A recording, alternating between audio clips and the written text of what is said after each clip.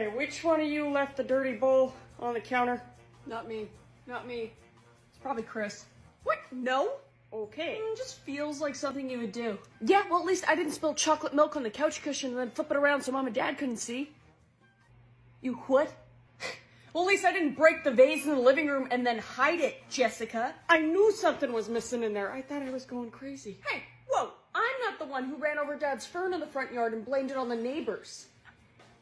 You killed Fern? Idiot. Well, at least I'm still a virgin. What?